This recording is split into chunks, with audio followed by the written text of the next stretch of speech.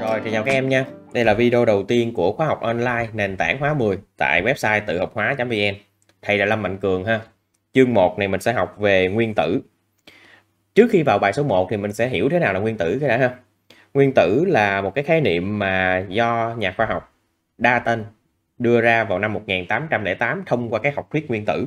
Học thuyết của ông có nhiều vấn đề ha. Những cái vấn đề sâu xa hơn thì mình để lên hóa đại cương của đại học mình học. Còn ở lớp 10 mình chỉ cần quan tâm tới cái định nghĩa nguyên tử trong cái học thuyết đó thôi. Thì à, ông đưa ra là nguyên tử là cái hạt nhỏ nhất của mọi vật chất không thể bị phân chia được nữa ha. Đó cho cái chữ nguyên này nè. Cái chữ nguyên này có nghĩa là nguyên vẹn không thể bị phân chia nè ha. Không thể bị phân chia. Được chưa? Và tử này có nghĩa là phần con phần nhỏ nè được không? nhỏ nhất có thể của vật chất được chưa? Nhưng mà thực ra thì nó sẽ không phải là nhỏ nhất. Nhưng mà cái cái cái học thuyết của ông đã giải quyết được rất nhiều vấn đề ở thời điểm đó được chưa? Nhưng mà trong bài hôm nay mình sẽ học sâu hơn. Tức là vào năm 1897 á, một nhà khoa học khác là Thomson đã làm một cái thí nghiệm và phát hiện ra cái hạt nhỏ hơn tạo nên nguyên tử nữa. Chứng minh là nguyên tử không phải hạt nhỏ nhất ha các em? Rồi bây giờ mình sẽ bắt đầu đi vào trong bài học bài thành phần của nguyên tử xem con nguyên tử cấu tạo từ những hạt nào để cho các em hiểu hơn về thí nghiệm của Thompson thì thầy có vẽ cho các em hai cái hình Bây giờ mình sẽ ký hiệu trực tiếp lên hình trong tài liệu luôn nha các em để mình hiểu rõ. Ở đây là cái ống tia âm cực nha các em, điền vào đây nha. Ống tia âm cực. Rồi, cái ống tia âm cực các em tưởng tượng nó giống như một cái chai thủy tinh mà người ta rút hết không khí ra vậy đó. Được chưa? Đương nhiên là không thể rút hết, rút càng nhiều càng tốt để tránh cái sự va chạm lát nữa. Rồi, ở dưới này gọi là cái nguồn điện ha các em. Nguồn điện. Rồi, còn đây thì nó sẽ là cái cực âm ha, được không? Đây là cực âm nè. Tại vì nó nối với cái cực âm của nguồn điện đúng không? Cực âm ha. Còn đây nó sẽ là cực dương nha các em. Cực dương nó nối với cực dương của nguồn điện ha. Cực dương. Ở đáy của cái ống tia âm cực này thì Thomson sơn một cái lớp màng huỳnh quang ha các em. Màng huỳnh quang. Rồi cái lớp màng huỳnh quang này nó có tác dụng là nó sẽ phát sáng lên báo hiệu là nó có một cái hạt mang điện tích đập vào đây hoặc là cái hạt mang năng lượng cao đập vào đây. Được chưa? Thì à, ở chỗ này ông còn khoét một cái lỗ ở cực dương nữa ha. Ở trong chính giữa này là có một cái lỗ ở bên cực dương ha. Thì khi bật nguồn điện lên thì ông thấy được là nó phát sáng ở cái điểm cuối của cái màn hình quang. Được chưa? Mà chỗ này muốn phát sáng á, tức là nó phải có cái gì đó kích thích ở đây đúng không? Thì ông thấy được là cái điểm này nó thẳng hàng với cái lỗ ở bên cực dương bên này và thẳng hàng với cực âm bên này luôn. Được chưa? Tức là sao? Tức là nó có cái dòng hạt mang điện di chuyển từ cực âm qua bên cực dương, rồi đi xuyên qua cái lỗ. Được chưa? Tới đáy của cái màn huỳnh quang và làm cái màn huỳnh quang phát sáng lên. Được chưa? Và cái tia mà ông đặt tên vừa mới phát hiện ra, cái tia này gọi là tia âm cực hay kem kem điền vào đây nha. Tia âm cực. Tại vì nó sinh ra từ cực âm thôi, ha. Tia âm cực. Rồi, lưu ý ha. Rồi tại sao gọi là tia âm cực mà không gọi là tia dương cực? Tại vì nó xuất phát từ cực âm. Nếu mà ông đổi hai cái đầu mà âm dương này lại với nhau nè nó sẽ không xuất hiện cái điểm sáng ở cuối màn hình quang. Được chưa?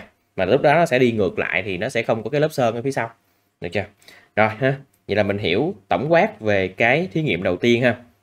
Vậy bây giờ mình điền vào đây nha. Ờ, uh, Thomson đã làm thí nghiệm phóng điện qua không khí loãng và phát hiện ra chùm tia sinh ra từ cực âm ha các em từ cực âm và gọi là tia âm cực. Khi áp một trường điện vào thì chùm tia này bị lệch. Rồi em nhìn thấy cái hình bên này nè. Em nhìn thấy đây có phải là hai cái à, hai cái miếng kim loại tích điện không? Đúng không? Đây là hai cái miếng kim loại tích điện. Em ký hiệu vào đây nha. Hai cái miếng kim loại tích điện. Kim loại tích điện. Rồi nhìn dấu là biết cái nào tích điện gì rồi, đúng không? Và quan sát được là nó bị lệch về phía trên. Được chưa? Tại sao phải thử cái thí nghiệm này?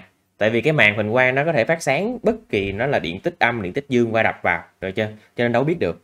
Vậy thì muốn biết thì phải lắp hai cái miếng kim loại, một cái điện tích dương bên trên, một cái điện tích âm bên dưới để xem coi cái tia đó nó lệch về phía nào, được chưa? Và ông nhìn thấy rõ là nó bị, nó vẫn phát sáng nhưng mà nó không phải phát sáng ở trung tâm như ở bên kia nữa. Mà sau khi lắp hai cái miếng kim loại vào, nó phát sáng ở cái điểm bị lệch về phía trên. Các em nhìn thấy không? Bị lệch phía trên.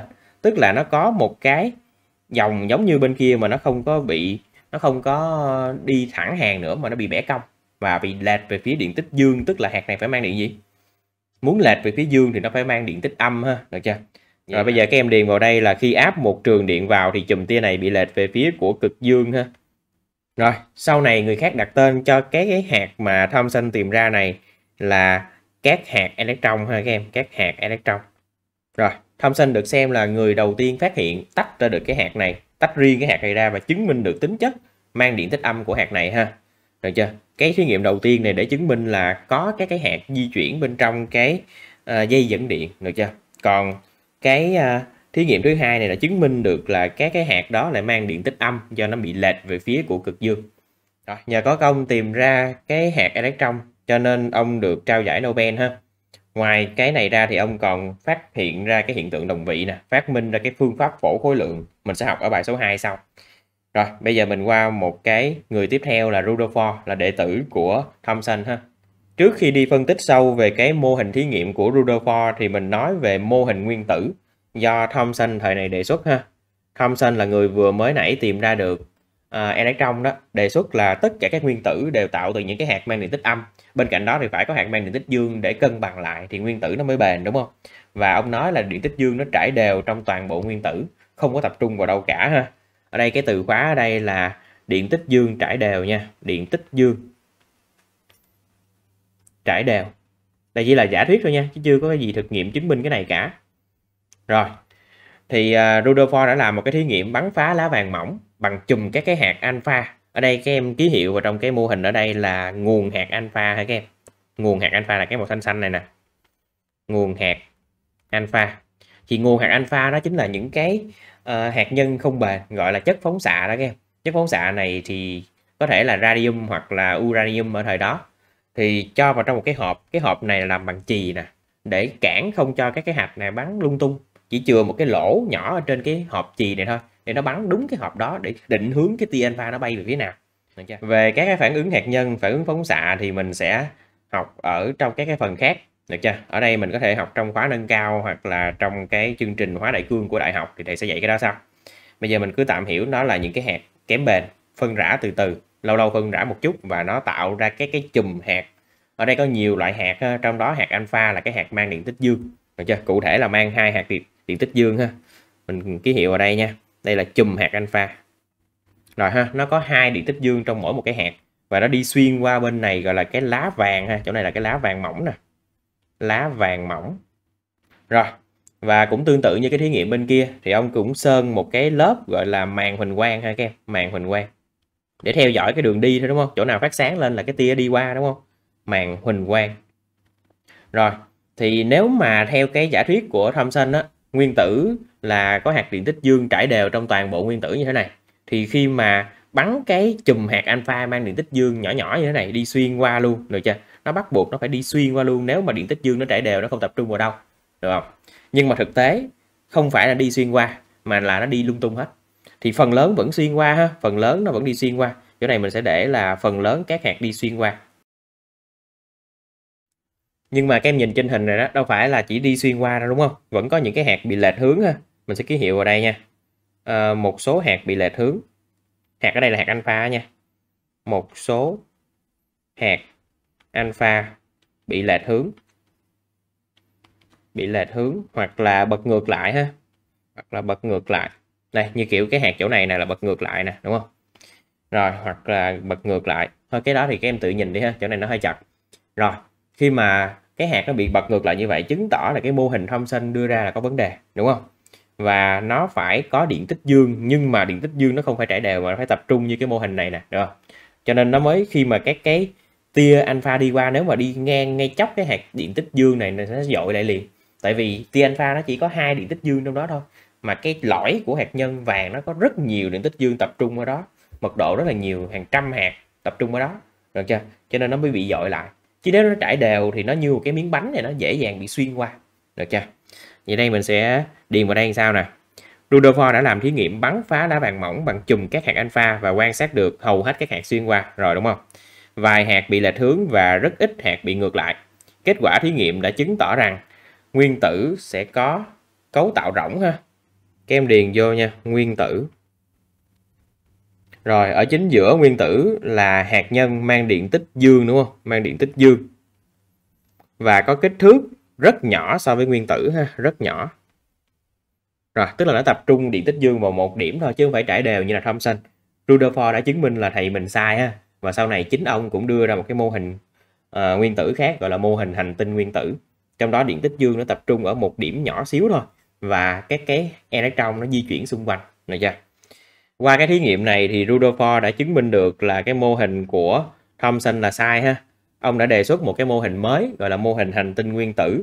Lúc đó điện tích dương nó không có trải đều nữa, mà điện tích dương lúc này nó tập trung ở một điểm ha. Các em điền vào đây nha. Điện tích dương tập trung ha các em điện tích dương tập trung. Tập trung ở đâu? Cụ thể là tập trung ở phần lõi nguyên tử. Từ từ qua cái phần tiếp theo mình sẽ nói sâu về nó sau đó. nhờ cái giải thích này của ông á, về cái phần lõi của nguyên tử chứa điện tích dương tập trung ở đó đó thì ông được trao giải Nobel và được xem là cha đẻ của vật lý hạt nhân ha. Cái phần lõi đó sau này được gọi là hạt nhân.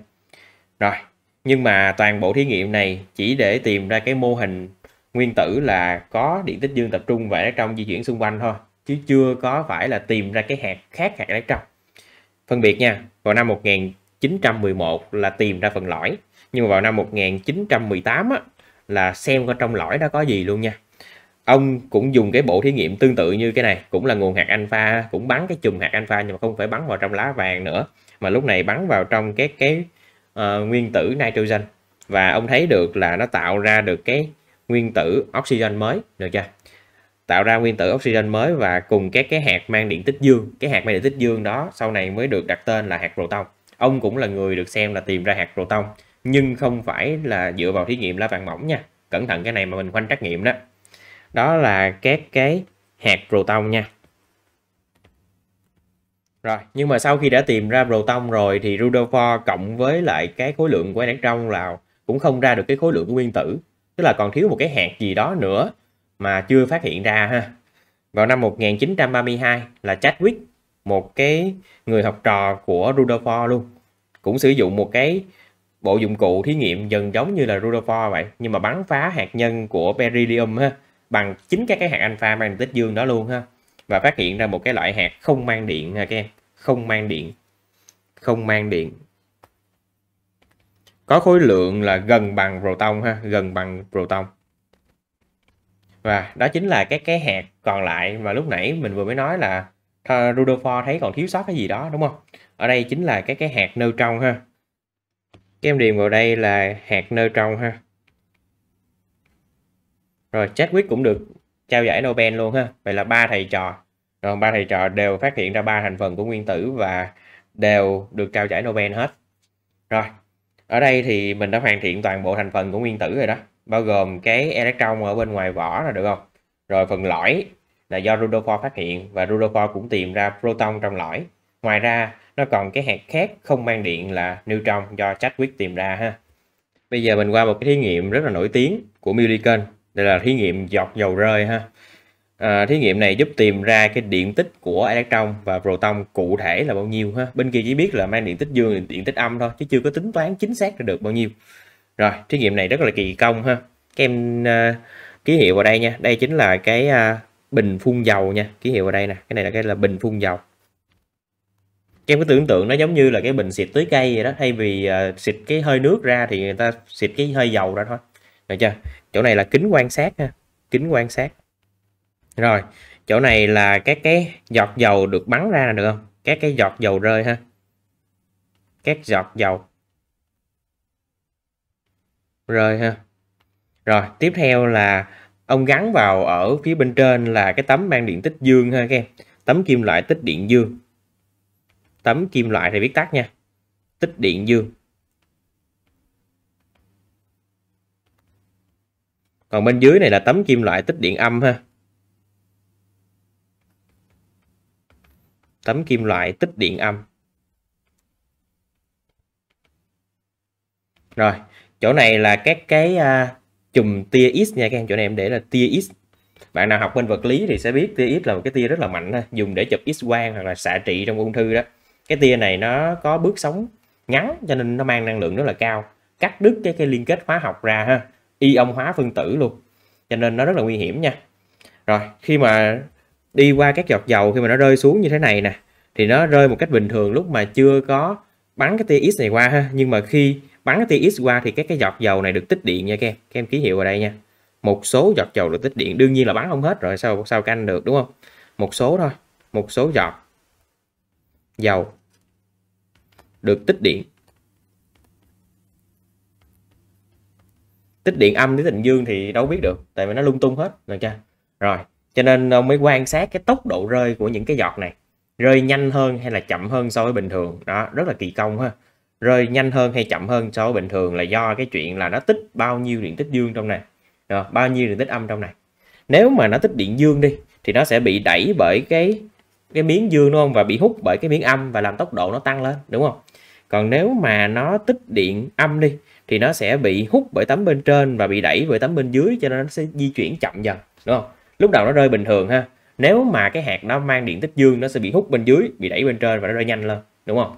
Nhưng mà nếu mà nó được tích điện âm á, thì nó cũng rơi xuống, nhưng mà nó rơi xuống bởi trọng lực thôi, và nó bị đẩy bởi cái điện, lực của điện rồi, đúng không? Nó sẽ bị đẩy ngược lên trên, cho nên nó sẽ rơi chậm hơn so với bình thường. Được chưa? Ông so cái tốc độ rơi của những giọt đó và suy ra được cái lượng điện tích trên đó bằng các công thức tính toán bên vật lý ha. Bên hóa thì mình sẽ không đi sâu vào nó. Mình chỉ cần hiểu nguyên lý thôi ha. Ở đây các em điền vào. Quá trình rơi của các giọt dầu qua trường điện nhanh lên hay chậm đi là do dấu và độ lớn của các cái giọt này ha các em. Các em điền vào đây ha. Ngoài cái dấu là dương hay âm ra, nó còn do cái độ lớn nữa. Dấu và độ lớn điện tích ha. Của mỗi giọt. Rồi, bằng cách tăng hay giảm cường độ điện trường và phân tích dữ liệu từ một lượng lớn các cái giọt dầu kiểu như này, từ năm 1906 cho tới năm 1914 tức là bao nhiêu năm? 8 năm đúng không? Rất là kỳ công ha.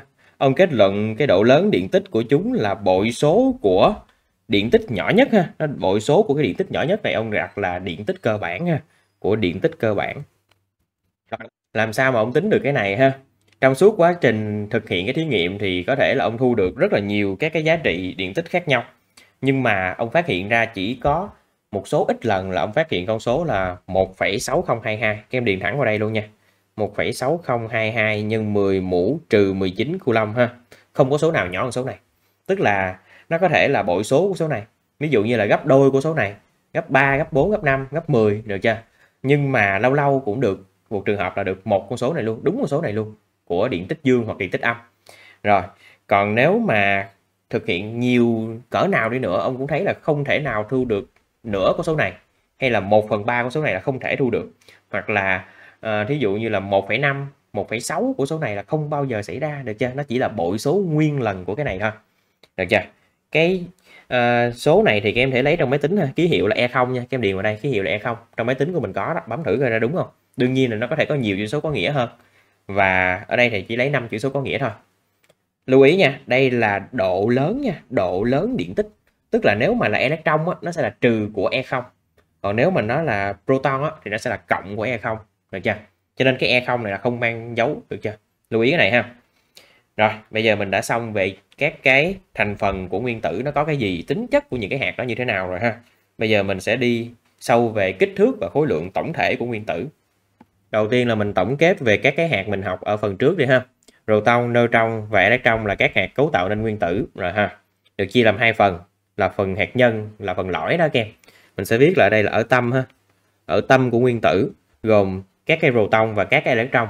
Trong đó thì proton mang điện dương và electron không mang điện. Được chưa? Quan trọng nhất là mình biết là ở giữa thôi. Vỏ nguyên tử gồm các cái electron mang điện tích âm và chuyển động xung quanh hạt nhân ha. Chuyển động rất nhanh xung quanh hạt nhân rất nhanh xung quanh hạt nhân. Rồi trong đó điện tích của proton nó sẽ là uh, cộng e đúng không? Các em viết vào đây là cộng 1,6022 nhân 10 mũ trừ 19 ha. Còn khối lượng của proton thì cái trong máy tính của mình cũng có lưu luôn rồi đó các em. Các em bấm cái giá trị mp ra. Bấm. Các em bấm là hằng số về nguyên tử hạt nhân nè chữ mp ha. Các em sẽ ra là 26 nhân 10 mũ trừ 27 của kg ha. Này là theo đơn vị của ờ, SI luôn rồi ha. Đơn vị khối lượng thì nó sẽ chuyển theo kg rồi cái chỗ AMU này để lát nữa mình sẽ chỉnh lại sau theo đơn vị khối lượng nguyên tử sau. Ở cái trang sau thì mình mới tới ha. Mình cứ trừ trống đây đi. Neutron thì điện tích bằng không rồi ha. Electron thì nó ngược lại proton mang điện tích âm ha. 1,6022 nhớ nha số này là E0 trong máy tính của mình rồi đó. Rồi cái khối lượng của E này mình cũng bấm tương tự thôi ha lấy cái hằng số ờ, uh, ME ra là số 3 ra. Thì nó sẽ là 9,1094 đúng không? nhân 10 mũ trừ 31 ha.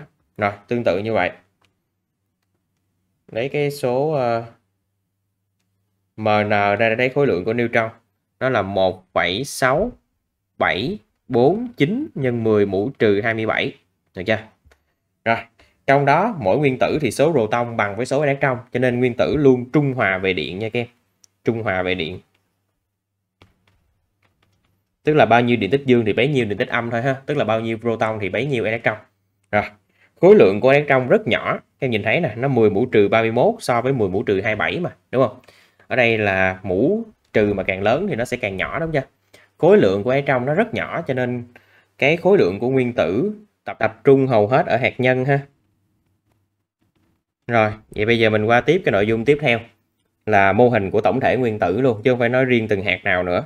Nguyên tử có hình dạng gần giống như một khối cầu có đường kính khoảng là 10 mũ trừ 10 mét thôi các em. 10 mũ trừ 10 của 1 mét. Trong đó hạt nhân có đường kính hạt nhân là cái phần lõi tí xíu dưới này nè nha. Cái đường kính của cái hạt nhân đó là 10 mũ trừ 14 của 1 mét. Nhỏ hơn rất nhiều lần so với nguyên tử. Nào, nhỏ hơn bao nhiêu lần? Nếu mình chia ra là nhỏ hơn 10 mũ 4 lần tức là 10.000 lần đúng không? Cái tưởng tượng nó giống như một cái sân bóng đá vậy đó. Như một sân bóng đá tiêu chuẩn FIFA rộng cực kỳ lớn. Rồi, coi như là 100 mét đi. À, 100 mét vuông đúng không? Gần như 100 mét vuông đi. Thì cái phần lõi á, cái phần lõi của nguyên tử nếu mà tổng thể nguyên tử như cái sân vận động thì phần lõi nó giống như một cái hạt đậu 1 cm ở giữa của cái à, chỗ mà giao bóng á, ở ngay chính giữa xíu xíu vậy thôi đó cho nên tất cả các mô hình mà các em thấy trên mạng tất cả những cái mô hình mà nói về nguyên tử tất cả đều sai. Được chưa? Tại vì cái tỷ lệ nó đã sai rồi. À, không có cái mô hình nào là đúng hết nha. Cái mô hình thầy vẽ trong này cũng không đúng luôn đâu nha. Chẳng qua là vẽ để mình tượng trưng mình hiểu được thôi chứ bản chất là không thể mô tả được. Khối lượng của nguyên tử có thể được tính gần bằng tổng khối lượng của tất cả hạt proton neutron và electron ha. Kem điền vào đây là gần bằng thôi nha. Thực ra nó không thể bằng được đâu nha nó phải nhỏ hơn đó. Tại vì proton neutron trong kết hợp lại với nhau, nó phải tiêu hao một phần khối lượng chuyển thành năng lượng, theo công thức E bằng mc bình phương của Einstein đó, để tạo ra được cái lực kết nối giữa các hạt trong hạt nhân lại với nhau. Cái này qua cái phần phóng xạ hạt nhân thì mình sẽ học kỹ hơn. Trong chương trình cơ bản thì mình sẽ không nói kỹ về cái này sau. Nhưng mà nhớ nha, không có được bao giờ tính bằng cách cộng hết lại nha. Có nhiều sách bài tập cho cộng hết lại là sai sai rõ ràng luôn nha. Rồi, để thuận tiện, khối lượng nguyên tử thì nó 10 mũ trừ mấy này đúng không? Mình viết bên này nè nó là 10 mũ trừ 19 10 mũ trừ 27 31 là nó rất là nhỏ, đúng không? Sao mà tưởng tượng được bằng cái não con người, đúng không? Cho nên người ta mới chuyển đổi về AMU đúng không? Chuyển đổi về AMU là 1 phần 12 của khối lượng nguyên tử carbon 12 ha. Người ta lấy cái nguyên tử carbon 12 carbon có nhiều loại carbon ha, qua bài sau mình sẽ học về đồng vị sau, được chưa? Bây giờ mình cứ biết là 1 phần 12 khối lượng của một nguyên tử carbon mà carbon có nhiều loại, trong đó cái loại carbon 12 được chọn làm cái đơn vị gốc, nhưng mà nó cũng khá lớn nên chia 12 phần ra và lấy nó so với tất cả. Được chưa? Và cái giá trị đó là cái khối lượng của một nguyên tử nó cỡ này nè, một nguyên tử carbon 12 nó cỡ này nè. Chia cho 12 xuống thì được cái số này. Số này sẽ được dùng làm đơn vị. Tất cả những số khác so với này có gấp mấy lần. Nếu gấp 7 lần thì người ta gọi đó là một đơn vị khối lượng nguyên tử. Nếu gấp 20 lần thì nó thực tính là 20 AMU được chưa? AMU đó là viết tắt của đơn vị khối lượng nguyên tử ha. Rồi vậy bây giờ mình chuyển qua đây.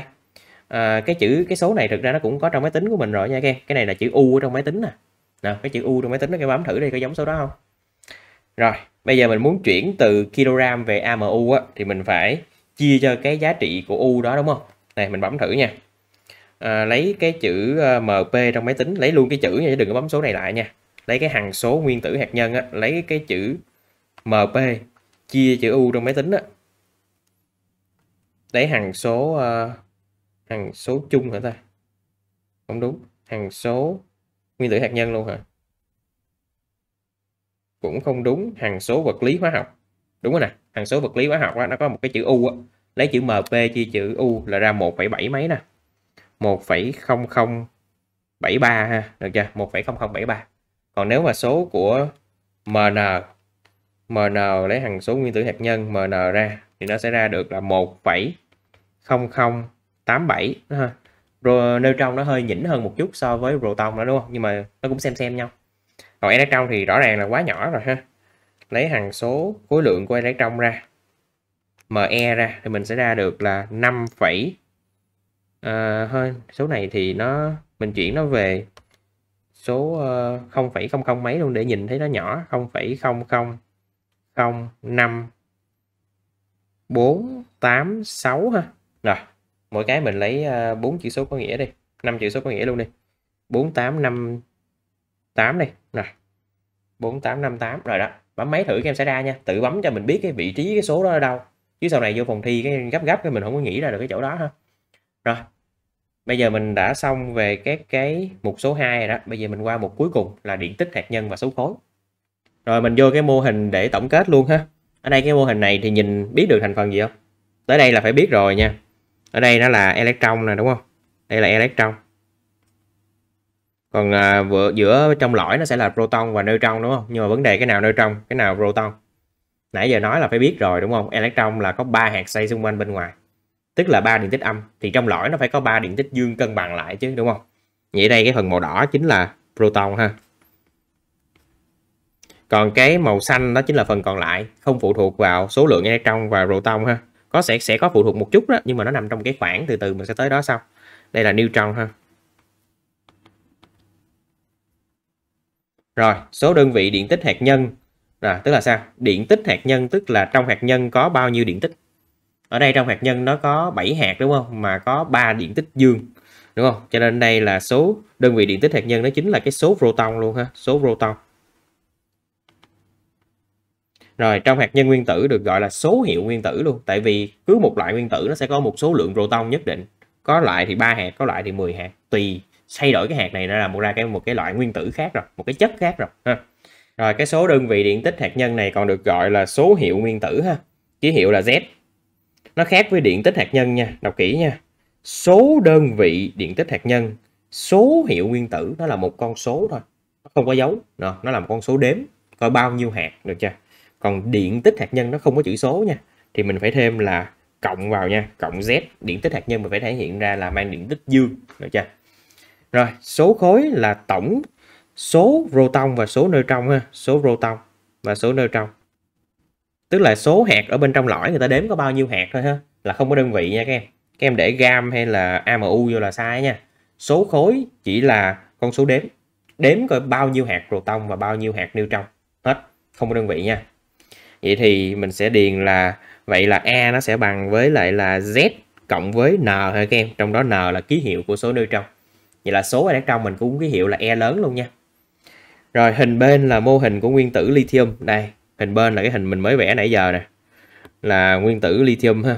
Có số hiệu nguyên tử là bao nhiêu? Đếm coi. Số hiệu nguyên tử mình mới nói là sao? Số hiệu nguyên tử chính là một con số thôi, không có dấu nha. Đó. số hiệu nguyên tử là số hạt proton bên trong. Đếm coi bao nhiêu hạt màu đỏ ha số hiệu nguyên tử đó chính là z thôi nha z bằng cộng à, z bằng 3 thôi nha đúng không? Chừng nào ta hỏi là uh, điện tích hạt nhân là bao nhiêu mình mới trả lời là cộng 3 được chưa? Và có số khối ở đây là a đúng không? A bằng với gì? Có 7 hạt bên trong lõi đúng không? Ở đây là a bằng 7 rồi, rồi vậy là mình đã xong toàn bộ lý thuyết của bài số 1 rồi nha. Bây giờ mình sẽ vô luyện tập các cái bài tự luận điền khuyết nối gột cái kiểu á. sau đó là mình sẽ tới những cái câu trắc nghiệm ha. Rồi câu à, luyện tập số 1 nè. Điền vào chỗ trống nào sau đây? Phù hợp ha. Bây giờ trong ống tia âm cực tia âm cực được sinh ra từ cực âm ha cho nên vì vậy nó mới được gọi là tia âm cực. Trong đó tiếng Anh á, của uh, cực âm á, chính là cathode ha cathode còn uh, cực dương nó sẽ là anode nha bạn nào không biết thì viết lại để sau này mình còn dùng trong các bài sau đó. Rồi câu B đơn vị nhỏ nhất khi chia nhỏ vật chất theo học thuyết của Dalton được gọi là nguyên tử được chưa? Nguyên tử đương nhiên là bây giờ mình biết là nó không phải là nhỏ nhất, đúng không? Nhỏ hơn nguyên tử nó còn proton, neutron và electron nữa. Nhưng mà mình chỉ kể tới theo học thuyết của Dalton thôi. Câu C, hạt mang điện tích dương được tìm thấy trong hạt nhân nguyên tử, được gọi là proton ha, proton. Hạt không mang điện tồn tại trong hạt nhân được gọi là neutron neutron ha. Phần lõi của nguyên tử được gọi là hạt nhân. Rồi ha, vậy là mình xong câu luyện tập số 1 nha. Số 2, tia âm cực trong thí nghiệm của Thomson bị lệch về phía của cực nào? Khi mà áp trường điện vào nó sẽ lệch về phía của cực dương đúng không? Vì nó mang điện tích âm mà đúng không? Nó là chùm các cái hạt electron mang điện tích âm. Vậy thì mình sẽ giải thích là tia âm cực trong thí nghiệm của Thomson bị lệch về phía của cực dương ha. Hiện tượng này là do cho biết được cái tính chất của tia âm cực nó gồm chùm các cái hạt mang điện tích âm được chưa? Và nó vì vậy nó mới lệch về phía dương.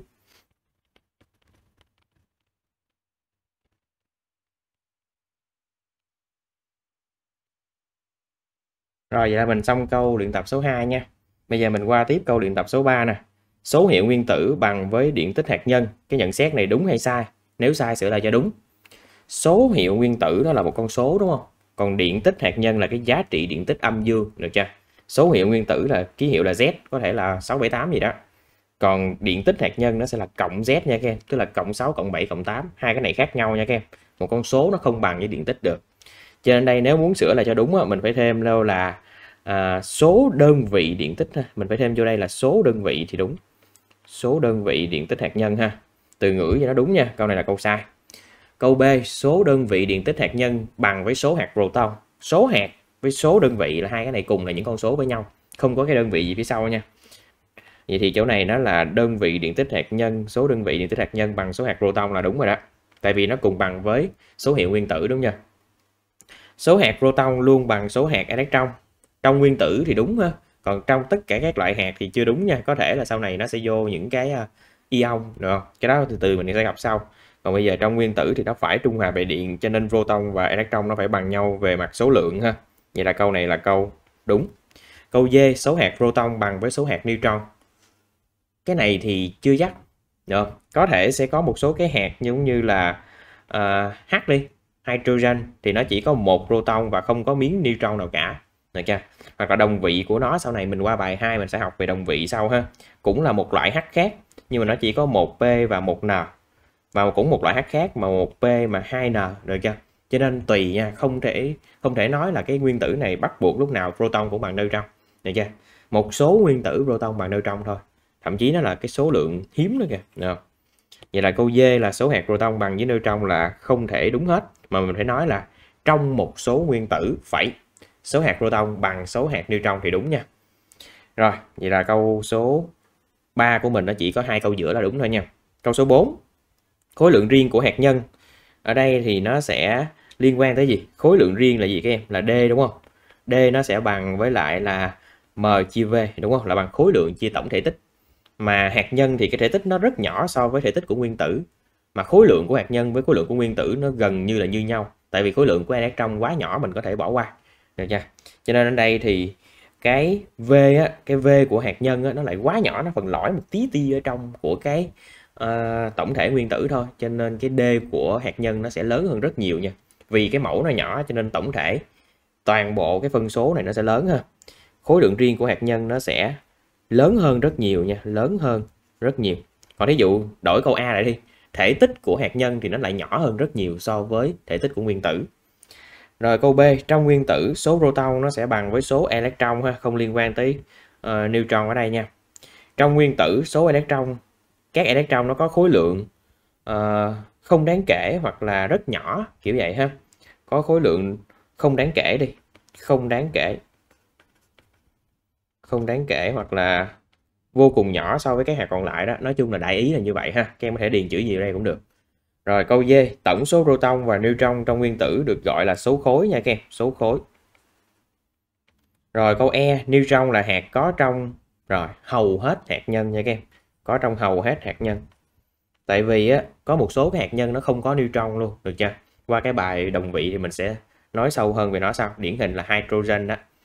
Và được phát hiện bởi Chadwick ha cái người cuối cùng trong toàn bộ uh, uh, từ sư tổ cho tới sư phụ rồi tới đệ tử ha. Bốn ba người đó là cùng một uh, cùng một nguồn ra là từ Thomson ra hết đúng không? Ở đây là Chadwick nha Chadwick. Được chưa? ông này là ông cuối cùng phát hiện ra neutron còn Thomson là tìm ra trong còn Rutherford là tìm ra uh, proton nha. Đó nhớ cái cái thông tin đó nha. Rồi bây giờ mình qua tới cái bài luyện tập số 5 bán kính của hạt nhân nguyên tử và của cả nguyên tử. Carbon lần lượt là 2,7 femtomet và 70 picomet tính thể tích của hạt nhân và thể tích của nguyên tử. Carbon đó theo đơn vị mét khối hả? Mét khối là nó sẽ ra con số rất nhỏ đó nha. Biết phần trăm thể tích của nguyên tử carbon bị chiếm bởi hạt nhân là nhiêu đây. Rồi cho bán kính mà tính thể tích thì mình phải biết công thức tính hình cầu đúng không? Mình sẽ giả sử là hạt nhân của các cái nguyên tử này đều là có hình cầu hết. Hạt nhân và cả nguyên tử đều có hình cầu. Thì mình sẽ sử dụng công thức gì các em? Công thức tính hình cầu là v nha. Khi mình bị mình có bán kính á v bằng 4 phần 3 pi r mũ 3 nha các em. Cái này là kiến thức này không biết là của cấp 2 hay là của cấp 3 hình học không gian thì không không biết. Nhưng mà cái công thức nó sẽ là sau khi mình có được cái bán kính mình mũ 3 lên rồi nhân 4 phần 3 pi nha. Pi là 3,14 hoặc là số trong máy tính của mình đó. Rồi vậy bây giờ mình lắp nó vào thôi nha mình có tất cả các cái bán kính này rồi thì mình sẽ đầu tiên mình đổi ra mét luôn ta. Ừ thôi đổi ra luôn đi nha. Ở đây thì mình sẽ thôi người ta cho mình rồi mà ta đổi sẵn rồi mà. Mình sẽ đổi để nguyên con số kia thôi ha. Đổi đơn vị. Đổi đơn vị bán kính của hạt nhân hả? Hạt nhân mình sẽ để là HN để ha. Bán kính của hạt nhân thì nó sẽ bằng với lại là uh, ở đây là 2,7 đúng không? 2,7 femtomet thì mình sẽ thay số vô là nhân 10 mũ trừ 5 trừ 15 đúng không? 2,7 nhân 10 mũ trừ 15 tức là một triệu tỷ đúng không? Một phần của một triệu tỷ của một mét đúng không? Rồi tiếp theo là bán kính của nguyên tử đúng không? Nt ha bán kính của nguyên tử thì nó sẽ là 70 picomet. Thì mình đổi nó ra thành là mét là 10 mũ trừ 12 tức là nghìn tỷ đúng không? Một phần nghìn tỷ là ra được 70 nhân 10 mũ trừ 12 của 1 mét. Được chưa? Rồi bây giờ mình sẽ đi tính cái à, thể tích ha. À, đầu tiên là thể tích của thể tích của à, hạt nhân đi ha. Thể tích của hạt nhân. Hạt nhân thì mình sẽ có là V hạt nhân ha. V hạt nhân thì nó sẽ bằng 4 phần 3 pi R mũ 3 tức là ở đây nó sẽ là 2,7 đúng không? Nhân cho 10 mũ trừ 15 mũ 3 lên nữa đúng không? Rồi cái này ra số bao nhiêu? Mình có thể uh, lấy ờ, hai uh, chữ số có nghĩa thôi. 4 phần 3 nhân cho pi nhân cho 2,7 nhân 10 mũ trừ 13 10 trừ 15 chứ. Tổng thể cái 2,7 nhân 10 mũ trừ 15 này còn mũ 3 lên nữa. Rồi mình sẽ ra cỡ là 8,2 ha 8,2 nhân 10 mũ trừ 44 của một mét vuông ha. Một, một mét uh, mét khối chứ. Mũ 3 rồi mà. Mét khối ha. Tiếp theo mình tính cái thể tích của cái um, nguyên tử tổng thể ha. Thể tích thể tích nguyên tử. Thể tích nguyên tử là V nguyên tử thì nó sẽ bằng y chang ở trên thôi. Thay cái bán kính của nguyên tử thôi. 4 phần 3 pi nhưng mà thay vì nó là bán kính của hạt nhân thì mình lấy bán kính nguyên tử. 70 nhân 10 mũ trừ 12 rồi mũ 3 lên cái nữa đúng không? Ở đây mình sẽ có là 70 nhân 10 mũ trừ 12 mũ 3 rồi 1,4 nhân 10 mũ trừ 30 của 1 mét khối đúng chưa? Rồi người ta hỏi mình cho biết phần trăm thể tích của nguyên tử carbon bị chiếm bởi hạt nhân nữa ha. Phần trăm bị chiếm bởi hạt nhân tức là mình thấy thể tích hạt nhân chia cho tổng thể của nguyên tử đúng không? Phần trăm thể tích của hạt nhân đúng không? Hạt nhân thì nó sẽ bằng. À, ở đây mình sẽ lấy là 1,4 mình thôi mình có thể viết kỹ ra một chút nữa thì mình sẽ viết là công thức là V của hạt nhân chia cho V của nguyên tử luôn ha. Rồi chia sẵn ở đây luôn. V của hạt nhân ở đây nó sẽ là à, 8,2 ở đây nhân trăm phần trăm lên cái đi. Nhân 100 phần trăm để mình ra cái kết quả là theo phần trăm ở đây 8,3 nhân 10 mũ trừ 44 tổng thể cái này mới chia cho 1,4 nhân 10 mũ trừ 30 ha. Rồi bằng nhiêu. 8,3 nhân 10 mũ 8,2 chứ. Ở trên viết 8,2 mà. 8,2 nhân 10 mũ trừ 44 chia cho 1,4 nhân 10 mũ trừ 30 mình sẽ nhân cho 100 cái nữa ha. Nhân cho 100 cái nữa. Mình học theo lý thuyết là chiếm khoảng là một phần uh, ờ, 1 phần 10 ngàn đúng không? Chiếm phần phần 10 ngàn. Ở đây nó sẽ chia cho chia cho 10 nhân cho 100 phần trăm vô đây đúng không? Rồi.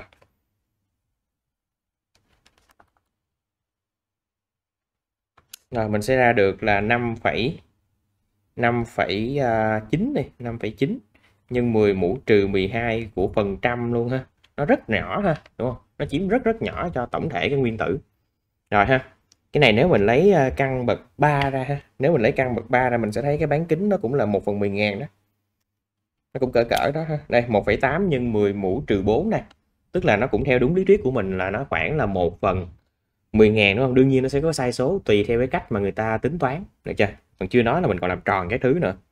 Rồi ha ở đây các em ra số nó có thể hơi lệch một chút nhưng mà nó cũng phải gần gần cái số này ha. Gần gần cái chỗ là 6 nhân 10 mũ trừ 12 phần trăm nha. Mình qua tiếp tới câu luyện tập số 6 nè. Khối lượng tuyệt đối của một nguyên tử oxygen bằng 26,5595 nhân 10 mũ trừ 27 của kg hãy tính khối lượng của nguyên tử trên theo AMU tức là mình so sánh coi nó theo đơn vị khối lượng nguyên tử là nó gấp mấy lần. Nó gấp mấy lần cái 1 phần 12 của nguyên tử carbon 12 đúng chưa? Cái này có lưu trong máy tính của mình cái chữ U rồi nha các em mình sẽ viết là khối lượng. Mình sẽ viết là khối lượng của một nguyên tử nha. Một nguyên tử nó khác với một mol nguyên tử. Rồi khối lượng của một nguyên tử thì mình sẽ để là m của O đi ha. À, hoặc là m lớn đi. Để đó nữa nó phân biệt với cái m của một mol nguyên tử. Mình tính là m nhỏ ha. Rồi m lớn của này thì mình sẽ lấy à, khối lượng của một nguyên tử theo tuyệt đối. Mình chia cho cái giá trị của 1 phần 12 đúng không? Ờ, 1 phần 12 khối lượng của nguyên tử carbon 12 tức là chia cho chữ U trong máy tính đó. nói chung là như vậy ha.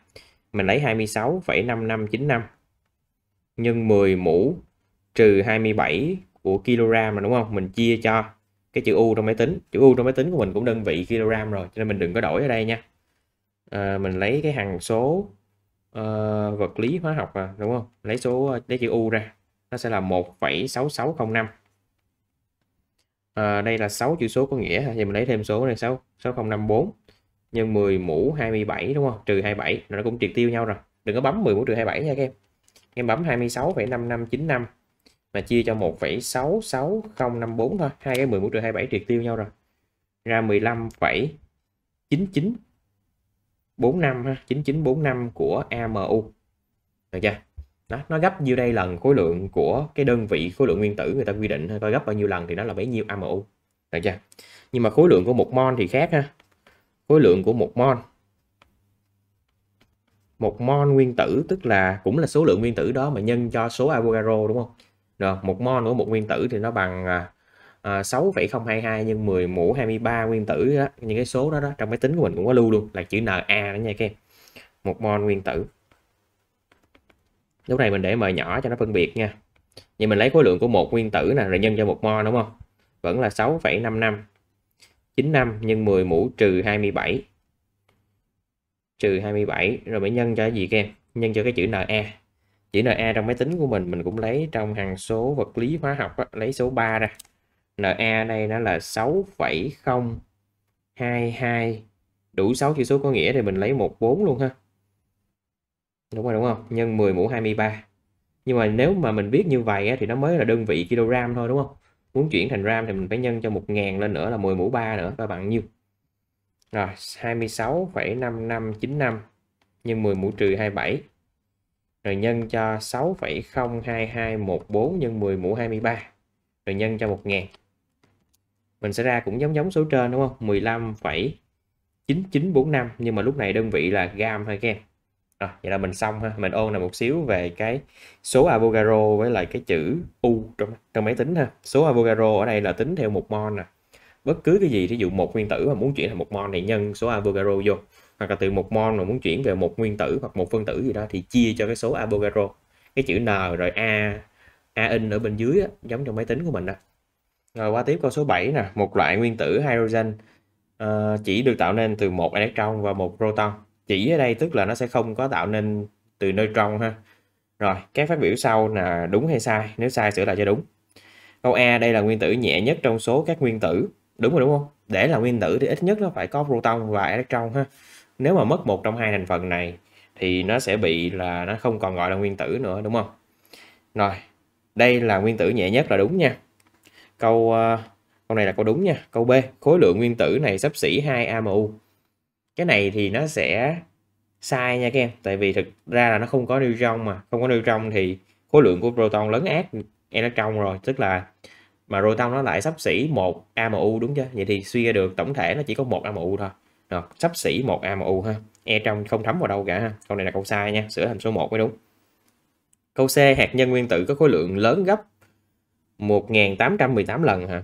Thử nha. Khối lượng hạt nhân lúc này có mỗi proton thôi mà khối lượng của vỏ nó chính là khối lượng của electron ha. Rồi chia lại thôi ở đây mình sẽ lấy hai con số m me chia mp ở trong ờ, máy tính của mình chia nhau luôn ha. Câu này nó sẽ là lấy hằng số nguyên tử hạt nhân á. Rồi, mình sẽ ra được là 1836 ha các em, chứ không phải là 1818 vậy là sửa chỗ này lại nha. Câu này sai nha. Câu D, kích thước nguyên tử bằng với kích thước của hạt nhân. Cái này sai chắc rồi. Nguyên tử nào cũng sẽ sai luôn. Tại vì kích thước của nguyên tử nó lớn hơn rất nhiều lần so với hạt nhân ha cụ thể là cái bán kính hoặc là cái đường kính nó gấp 10.000 lần, đúng không? Vậy là câu này là câu câu này là kích thước của nguyên tử bằng hả? Bằng là sai đúng không? Này, phải sửa lại là kích thước của nguyên tử là nó lớn hơn rất nhiều so với kích thước của hạt nhân ha. Rồi, tự sửa lại nha các em. Câu E nè, số đơn vị điện tích hạt nhân của hydrogen là cộng 1 số đơn vị điện tích hạt nhân, tức là mình chỉ nói tới cái con số thôi, được chừng nào ta hỏi là đơn vị điện tích hạt nhân thì nó mới là cộng 1 ha. Còn số đơn vị điện tích hạt nhân của hydrogen là một ha. Chú ý cái từ ngữ nha. Mình có thể bỏ dấu cộng, hoặc là mình bỏ cái chữ số đơn vị nha các em một trong hai thôi. Ở đây bỏ dấu cộng cho nó gọn nha. Vậy là câu này là câu sai nha. Chỉ có một câu duy nhất là câu A đúng thôi. Mình qua tiếp tới câu số 8 ha. Một nguyên tử C, tức là carbon đó các em có 6 proton và 6 neutron. Một nguyên tử O đó là oxygen, có 8 proton và 8 neutron xét các phân tử CO và CO2 tạo nên từ các nguyên tử C và O ở trên. Hãy nối cột A với cột B. Có thể là từ một vế ở cột A với nhiều vế của cột B ha. Rồi, trong phân tử CO tức là nó chỉ gồm một C và một O thôi, đúng không? Còn phân tử CO2 là một C 2 O. Rồi, có số proton và số neutron bằng nhau. Ở đây thì tất cả đều có số neutron và số proton bằng nhau đó. Tại vì ở đây thực ra là tất cả những cái nguyên tử thì proton bằng nơi trong rồi thì phân tử trộn từ những cái đó cũng vậy ha. Cụ thể ví dụ như CO đi nó sẽ có ờ, uh, 6 cộng 8 là 14 proton đúng không? Và cũng 6 cộng 8 là 14 neutron luôn ha. Còn câu ờ, còn cái CO2 thì nó sẽ là 6 cộng 8 nhân 2 đúng không? Tương tự thôi nha. Rồi bây giờ khối lượng sắp xỉ 28 AMU thì mình sẽ lấy là nhiêu? Chỉ có proton neutron nó sẽ ảnh hưởng tới cái uh, số khối lượng ờ, theo AMU đúng không? Còn electron nó nhỏ quá đi, người ta đang nói sắp xỉ thì mình cũng vượt, bỏ qua cái electron luôn ha. Coi như hai này là một hết. Vậy là 6 cộng 6 cộng 8 cộng 8 tức là 12 cộng cho 16 thì là 28 đúng không? CO là 28 nè. Còn CO2 nó sẽ là 44 là được chưa cộng lại thôi nha, cộng tất cả số lượng proton và neutron lại. Tại vì một proton và một neutron thì đều sắp xỉ, một AMU cả ha. Rồi, bây giờ có 22 electron của ý D thì bây giờ mình xét nè. CO thì à, có 6 proton của C đúng không? Thì nó sẽ có 6 electron theo C và có 8 electron theo O đúng không? 6 cộng 8 là mới 14 thôi chưa đủ. Vậy là chắc là của CO2 đó. Thử coi CO2 thì một C nó sẽ có à, uh, 6E đúng không? Còn mỗi O nó có 8E vậy là 8 nhân 2 cộng 6 là 16 cộng 6 là 22 đúng rồi đúng không? Câu D rồi số hạt mang điện nhiều gấp đôi số hạt không mang điện. Đúng rồi riêng trong mỗi nguyên tử trong này á riêng mỗi nguyên tử trong này đều có cái số hạt mang điện gấp đôi so với hạt không mang điện tức là số proton cộng electron nó chia cho số uh, neutron đều bằng hai hết mà đúng không? Mỗi nguyên tử này thì đều có số hạt mang điện gấp đôi số hạt không mang điện hết. Được chưa? Hoặc hạt mang điện là electron proton đó nha. Còn hạt không mang điện là neutron. Vậy thì tổng thể nguyên tử trộn từ những cái uh, phân tử mà trộn từ những cái nguyên tử này lên thì nó cũng là Ờ, số hạt mang điện nhiều gấp đôi số hạt không mang điện thôi ha. Cả hai luôn á. Đúng đối với cả hai trường hợp ha. Vậy là lấy CO2 và CO đều đi vào trong ý E hết. Rồi ha. Đây các em có thể viết liền kề lại nha. Còn đây thì thầy gạch ở đây thôi mình sẽ hiểu ý đồ rồi đúng không? Bây giờ mình qua tiếp tới câu số 9 nè. Một nguyên tử nitrogen được cấu tạo từ 21 hạt cơ bản gồm proton, neutron và electron. Trong đó số hạt mang điện chiếm khoảng 2 phần 3 đúng không? 67% là cỡ 2 phần 3 đó tính số khối của nguyên tử nitrogen trên. Vậy đầu tiên những cái câu kiểu như này là mình phải đi vào mình đặt liền nha. Những câu này mà các em thiếu cái khai báo á thực ra thì cũng không sao đâu. Nếu mà thầy cô chấm dễ nhưng mà để phòng ngừa tất cả các trường hợp thì mình cứ làm an toàn nhất không có gì để bắt bẻ hết. Thì đầu tiên mình nên đặt nha. Đặt uh, P N và E ha. P N uh, n thôi được rồi. Tại vì E nó cũng theo B thôi ha. Đặt B và N đi. Và N lần lượt là số uh, proton đúng không? Số proton và số electron và số neutron của một nguyên tử nói rõ ra là của một nguyên tử nitrogen. Rồi vậy thì mình sẽ có uh, cái uh, hệ phương trình ở đây ha. Đầu tiên là một nguyên tử nitrogen thì nó được cấu tạo bởi 21 hạt tức là P cộng N cộng E đúng không? Mà P với E bằng nhau cho nên mình sẽ để là 2P cộng N ha em 2P cộng N. Nó sẽ bằng với lại là 21 hạt. Và số hạt mang điện nhiều chiếm khoảng 2 phần 3 đúng không? Số hạt mang điện ở đây là 2P chiếm khoảng 66,67% tức là mình sẽ lấy tổng số là 21 hạt mà nhân cho 66,67 đúng không? Từ đây mình sẽ chia cho trăm xuống. Từ đây mình sẽ tính được P với N ha. Không? P với N P bằng N bằng được chưa? mình cứ viết theo kiểu hệ phương trình như vậy cũng được. Đúng ra mình có thể tính riêng P trước rồi lắp ngược lại tính N mà thôi chi vậy? Đúng không? À, 21 nhân cho 66,67 là nó ra là uh, chia trăm cái nữa. Là cỡ à, 14 ha các em? Vậy là P 2P bằng 14 vậy P nó sẽ bằng 7 đúng chưa mà P bằng 7 rồi thì N cũng bằng 7 luôn. Rồi xong ha. Người ta hỏi là hỏi số khối đúng không? Mời mình kết luận ha. Số khối bám sát câu hỏi của đề bài ha. Số khối của nguyên tử, nitrogen trên nitrogen. Nitrogen có nhiều loại nitrogen ha, mình phải nói đề cập đúng cái nitrogen trên ha, là A thì nó sẽ bằng P cộng N, đúng không? P cộng N thì nó sẽ bằng 7 cộng 7 là 14 ha, không có đơn vị nha. Cái này mà bạn nào để AMU ở đây là sai nha. Rồi, câu số 10 nè, một nguyên tử X. Rồi, nó cũng giống giống câu số ờ, 9 ha, cho tổng số hạt và số hạt mang điện nhiều hơn số hạt không mang điện tức là cách ra dữ kiện nó khác thôi. Thành phần cấu tạo là xác định thành phần cấu tạo của nguyên tử X tức là mình phải trả lời có bao nhiêu proton bao nhiêu neutron bao nhiêu electron ha. Vậy thì mình sẽ trả lời là đầu tiên mình cũng làm giống trên ha đặt P và N. Lần lượt là ha số uh, lần lượt là số uh, proton và neutron ha số proton và neutron của một nguyên tử x ha, của một nguyên tử x. Rồi, từ đây mình sẽ suy ra được là p cộng với 2p cộng với n, đúng không? 2p cộng với n thì nó bằng 21 và số hạt mang điện, nhiều hơn số hạt không mang điện, tức là 2p đúng không? 2p tức là p cộng e đó nha. Số hạt mang điện đây là proton và electron. Nhiều hơn số hạt không mang điện, tức là trừ cho n, đúng không? Chênh lệch nhau là 16 hạt. Từ đây tính được p với n ha. P với n coi bằng bao nhiêu? Rồi ở đây mình sẽ lấy là à, 2 1 0, 2, 1 rồi 21 nè. 2 trừ 1 16 à, lẽ à. Số hạt mang điện nhiều hơn số hạt không mang điện. À không phải 21 mà là 52 21 là của số trên. Chỉnh lại nha các em. 21 là của bài trên thì lấy lộn xuống. 52 nha. Rồi mình sẽ ra được là 17 với 18 17 với 18 vậy là người ta hỏi là thành phần cấu tạo, đúng không? Mình sẽ để là thành phần cấu tạo. Bám sát câu hỏi của đề bài nha. Biết không có gì để bắt bẻ luôn. Của nguyên tử x trên là, ở đây là có 17 proton, đúng không? 17 proton 18 neutron và 17 electron luôn ha tại vì số E bằng số B, electron. Rồi, vậy là mình xong câu số 10 nha.